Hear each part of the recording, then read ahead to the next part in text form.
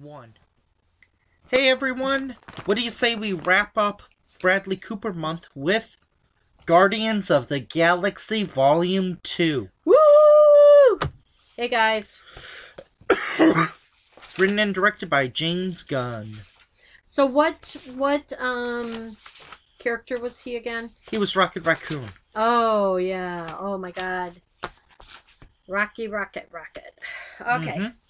So I saw this movie on an airplane. Um, I saw it and then I saw it again um, with with kid over here. So um, I'm not a kid. I'm Yeah. a cat. Meow. he he kind of doesn't remember um, much of it. So I wanted I wanted to do the review right afterwards, but by that time it was like midnight or something, and I think we both had to go to work the next day or something. So Yep. uh, uh not not uh not not having eyes break is a little higher priority than a movie review. So I guess you're gonna have to listen to me do most of the talking here, but jump in. She Okay. they had to with Burnt. You're all you're already a uh an un, you're already an untapped or, or yeah an un an untapped A list actress. Oh God, please don't. okay. you can't be worse so, than Kristen Wiig. So here we are, Guardians of the Galaxy Volume 2. If you like the music in the first one, oh my god, you're going to love the music here too. It just follows right in suit. I do rem uh I do one thing I do want to say, you know, jumping in was that uh Groot had several kids, right? I don't know. Or wasn't he what was the uh Remember he got he got baby Groots? right, he got burned, so there's one baby Groot. Oh, okay. Well, something They kept a seedling. a lot of the times uh when they add a baby character that's usually just an excuse to sell cheap plush toys and stuff. but Baby Groot was pretty good in this movie. Yeah. He he stole the show. I really think he stole was a the lot- show. and it was and it was just part of his character development. Ice Age 3. Stop it. Sorry, I have a cold uh I have a cold of uh Ice Age movies doing nothing. So anyway, let's get started. By the way, Squirrel Talk, still waiting for your still waiting for your full review of the fifth movie. Okay. So Peter Quill um, and his fellow guardians are hired by um, powerful Peter alien Quill race. is Chris Pratt, right? Right, The Sovereign, yep. To protect their precious batteries from invaders. When it's discovered that Rocket has stole some of the batteries, I wish I could remember some of Rocket's lines because they were hilarious. yeah, the Sovereign dispatches their armada to search for vengeance. As the Guardians try to escape, the mystery of Peter's percentage is revealed. So that's kind of a synopsis of it. So, I do I do like how at the beginning there was this action scene which which had really good music and was also pretty funny. Oh, against that huge like octopus monster. Mm-hmm. Yeah. So And um, who's Chris Pratt again? What was his character's name? Peter Quill? Wasn't one of the main storylines about him trying to find his father? Yes. He he kept thinking, who is it from Baywatch? David Hasselhoff. Yeah, he kept saying David Hasselhoff. He had a picture of him. That's what Gamora kept remembering that um that's who his father was. Mm-hmm. So um but anyway, once they start getting attacked by all of these non-man flown Drones. drones, yeah, and they were getting attacked pretty bad just because Rocket had to steal some of their batteries. Played by Brad or voiced by Bradley Cooper. Yep. So anyway, while they're fighting this big thing, they were trying to protect the sovereign. So baby Groot he is getting missed by this octopus like nonstop. Everybody is protecting baby Groot as he's sitting there going around and around with the music and everything and Mm-hmm. they're fighting the octopus and yeah so that's how they save the sovereign from this huge monster so anyway um out of the blue, the Sovereign fleet is destroyed by a mysterious ship, and the Guardians crash on a planet. Soon they learn that the ship that helped them is owned by Ego. Is that what his name was? Is that one of? Isn't that um Can we say who the actor is? Yeah. Because his dad? oh, Kurt Russell. Yeah. I thought Stallone wasn't Stallone in this movie too. Yeah. Well, Okay, Stallone was. that's who I was thinking of. Oh, sorry. Stallone was. Spoiler after- alert. Yeah. Stallone was after this guy. 'Kay. Okay. So Great, great idea for an audio review. Yeah, you can't see the picture. It's on the cover.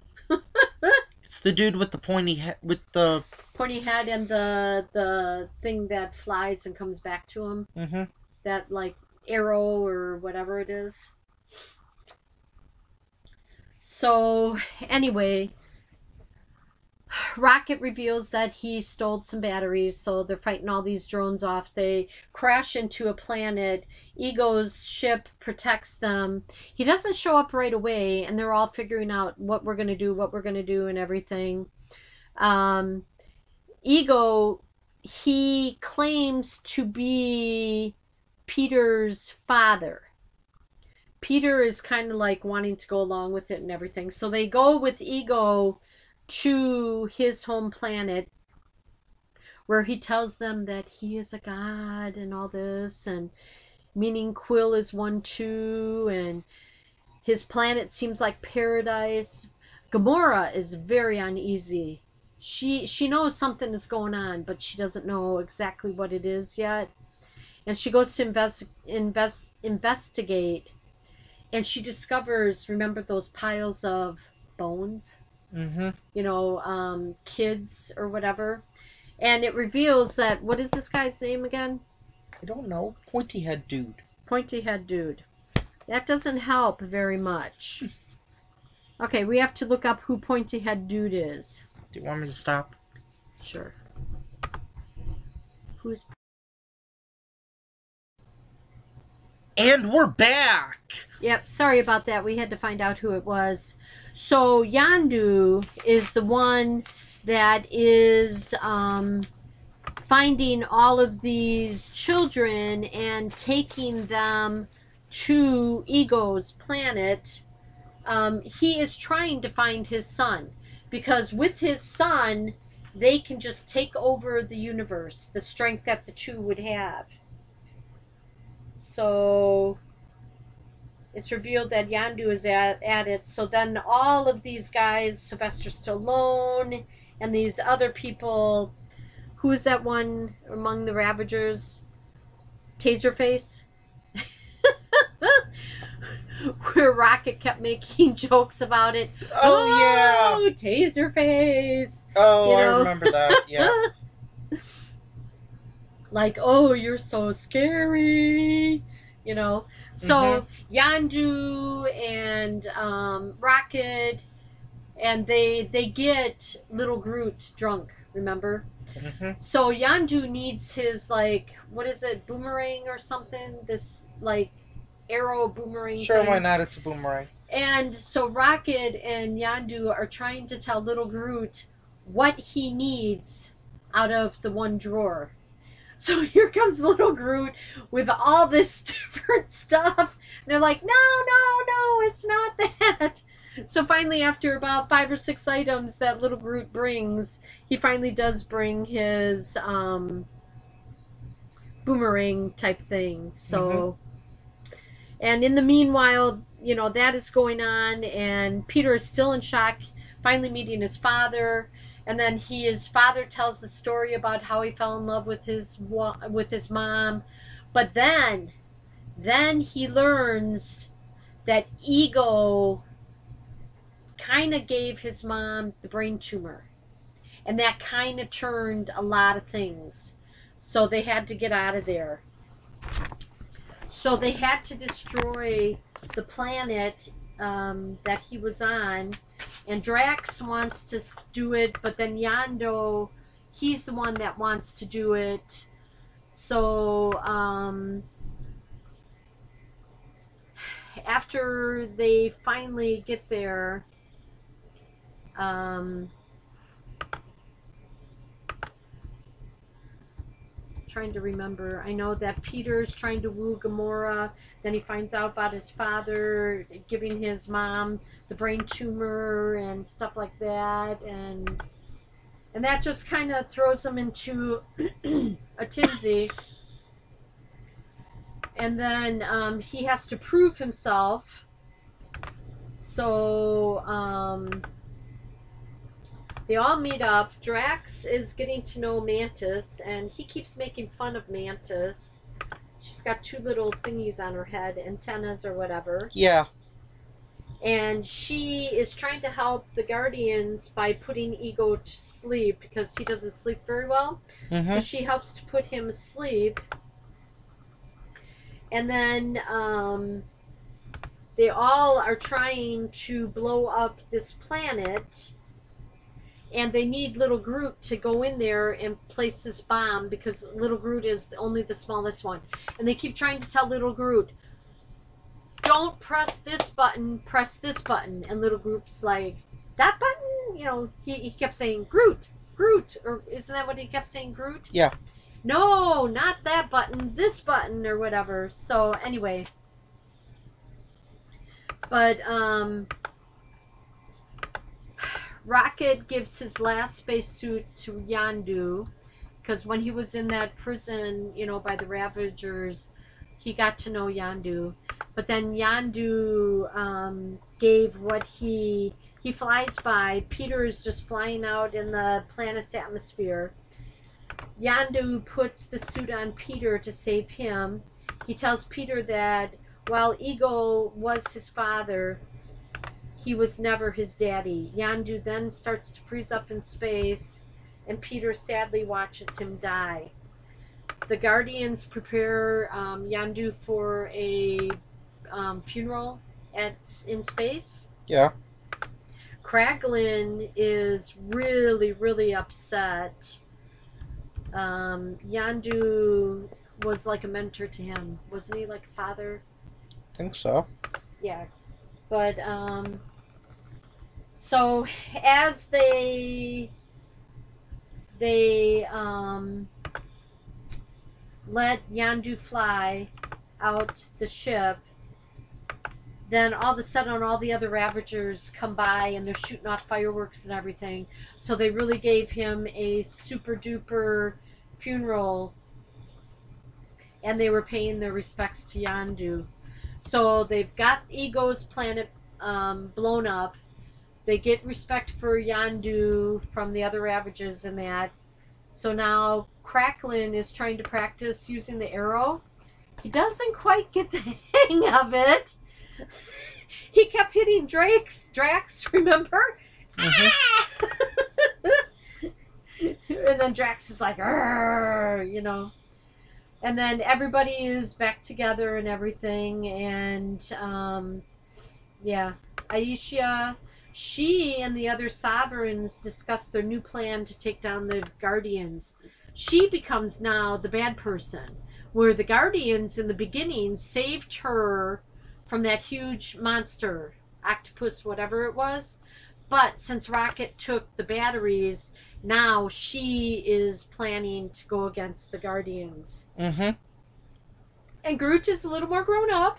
He's like a teenager. Woohoo, I'm so proud of him. And Peter scolds him for leaving his roots laying around, but Groot just mocks him and plays video games. So they're all flying off and they don't want to become bored. And um, is that the second time that Peter kisses Gamora?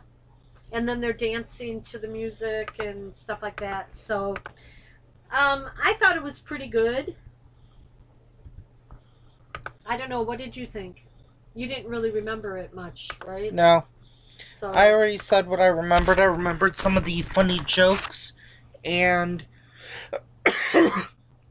and uh, Rocket Raccoon, and that the the kid character, uh, usually that's a sign that a sh- that something is running out of steam when they have to bring in the cuteness character.